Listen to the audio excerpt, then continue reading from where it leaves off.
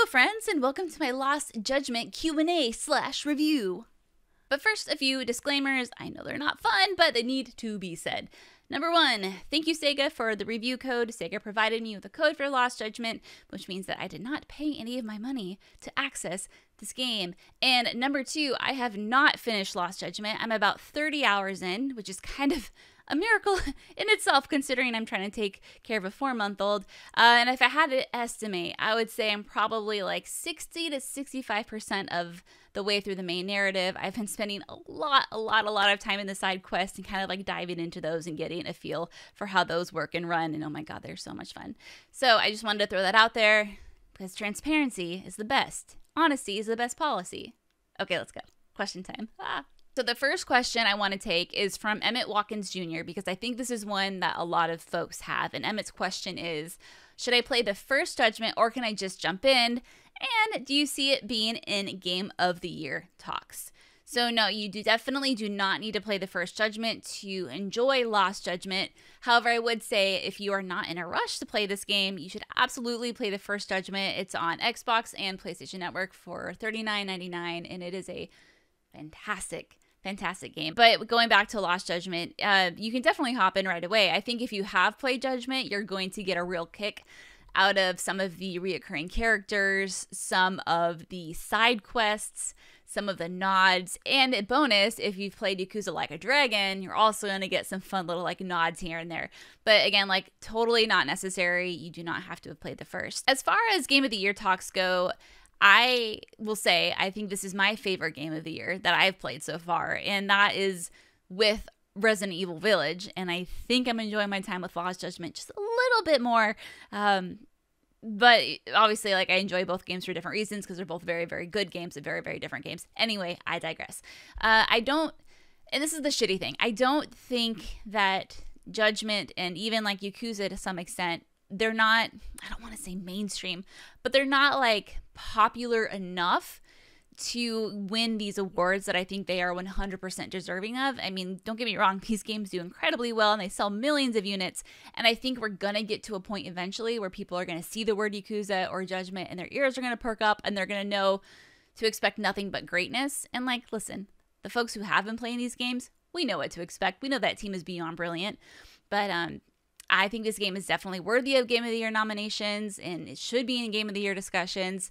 But uh, historically, I just feel like these titles haven't been a part of those discussions. And that makes me sad, but hopefully that'll change. The next question comes from Inside the Bunker. How does it compare to the first judgment and the Yakuza? Yakuza. I can't talk and the Yakuza series as a whole. The first judgment to me anyway felt very much like a Yakuza spinoff, you know, be being that it took place in Kamurocho and you have like the same brawlery type combat with like these detective light mechanics. But with Lost Judgment, I feel like this game very much stands on its own legs. And that could have to do, and I'll go into more details about this in the later question, but I think the narrative is much darker. I think you have a lot more empathy for some of the victims in this in this game because, you know, it's not like they're all Yakuza and they kind of signed up for this criminal lifestyle. Oh my god, I'm shedding. Um, I said shedding, not shitting. I don't know how that's going to come across on the microphone, but I want to make that very clear. If I was shitting, my face would be red. It would be all weird. I forgot what I was talking about. Oh yeah, so like the the characters in this game, you know, they didn't necessarily sign up for that Yakuza lifestyle. So when something bad happens to some of them, you're like, "Oh shit, like that fucking sucks." And um it really expands on the detective mechanics and it doesn't lean too heavily into some of those old mechanics that we were all kind of sick of like the tailing and the, or the trailing or whatever you want to call it. I kind of like tailing. I think that's better. I guess you could call it either or. Anyway, I'm getting distracted here.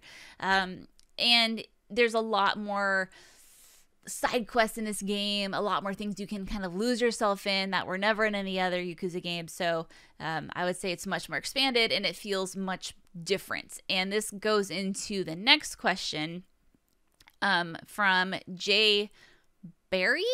Barry? And Jay's question is How did they expand the world from the first game?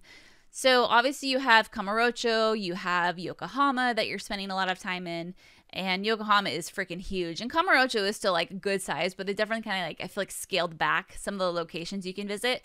Um, but now you have this big ol' high school, and this big ol' high school is like its own little ecosystem of characters and side quests and mysteries to solve and narrative and it's it's a really fun place to spend your time. And like i said at the top of this i'm i'm finding myself doing a lot of school stories and school missions. And i love the main narrative so far but those main missions i mean sorry those school missions are like top notch. They're really fun Epic Open World wants to know how much is the second game reliant on tailing missions? It's 2021. People are over these kinds of missions.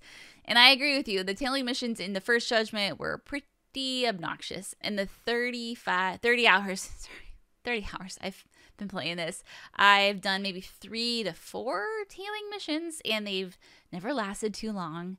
There's a new interesting like act distracted mechanic where Yagami might like pull out his cell phone. So if the person you're tailing turns around and looks at you, you know, you can just push Y. You don't have to like scramble to hide behind something. Now, granted, like you do have a meter that slowly ticks down, and the person you're tailing does have a meter that slowly ticks up as they become more and more aware of you. It hasn't been anything obnoxious. It's been fairly easy, and there have not been too many of them. So Good job, RGG. You listened to the feedback. Thank you. My Beats Brown wants to know how have they improved upon the detective mode from the first game? So this is fun. They've uh, really done quite a bit to make it stand apart from the first Judgment, which you know it had its observation mode, it had tailing. Um, I feel like that was kind of more or less the gist of it. Sometimes you'd use the drone to go like peep into windows and whatnot. So in Lost Judgment, you have a whole bunch of gadgets at your disposal. You have your camera, which is more or less the same for the first Judgment. You have now what's called a signal detector, which can pick up like noise jammers or I don't know what they're called, but basically something that jams signals.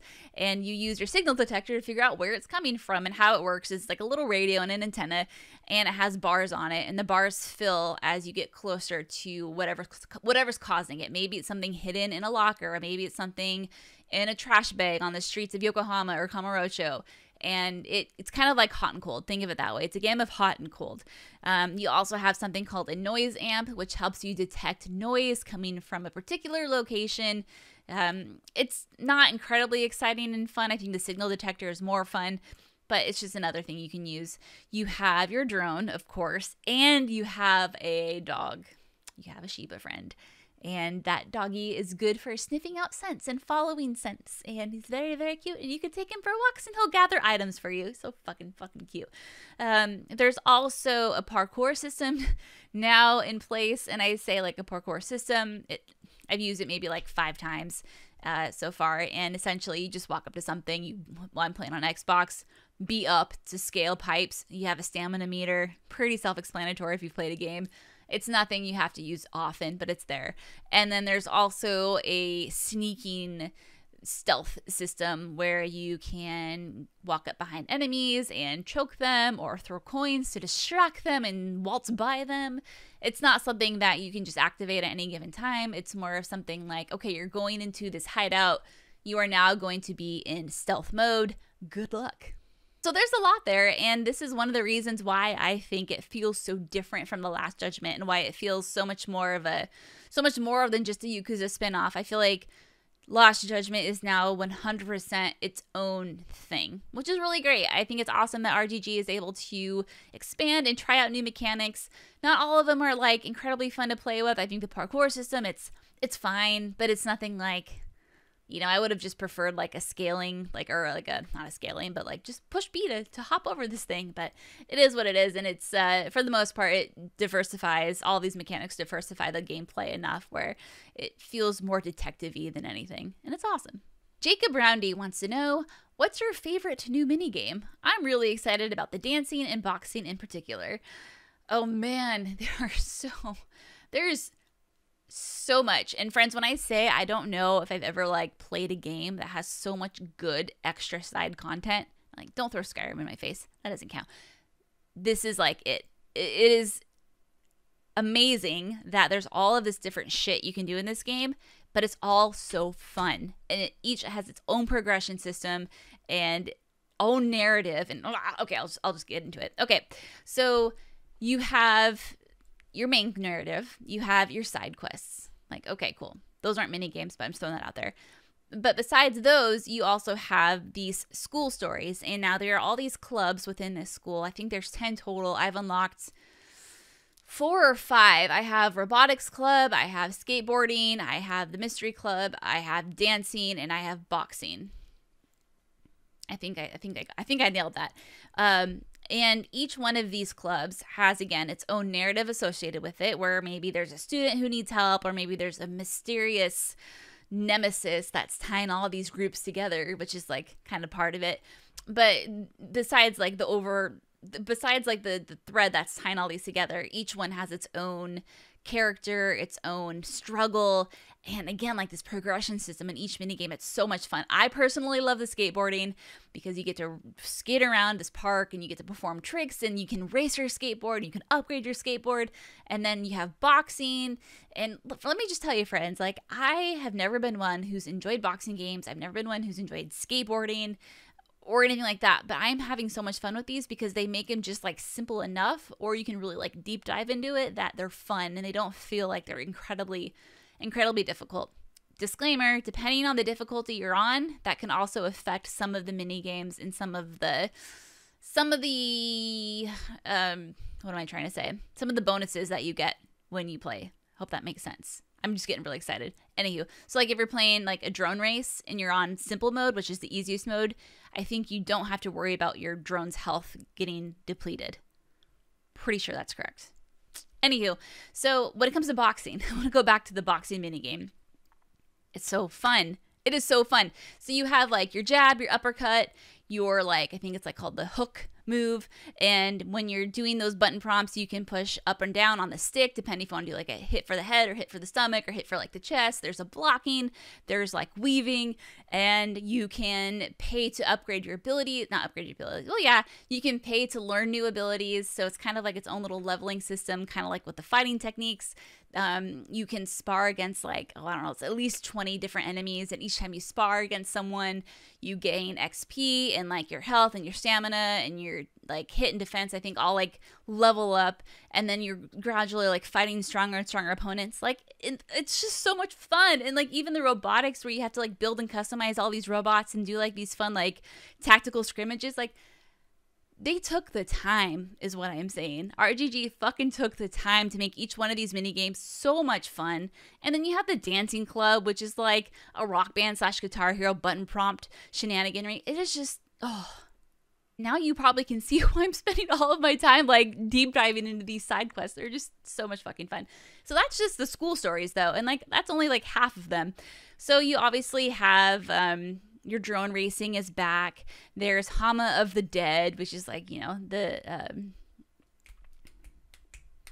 Oh my god. I'm not even going to tell you how long it took me to remember House of the Dead.